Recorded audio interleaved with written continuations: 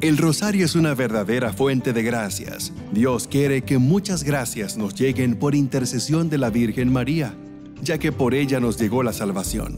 Innumerables testimonios de conversión han surgido por el mundo de quienes no creían en Dios y gracias al rezo del Santo Rosario han vuelto a la Iglesia Católica. Bendita tú entre las mujeres y bendito el fruto de tu vientre. Lucas 1:42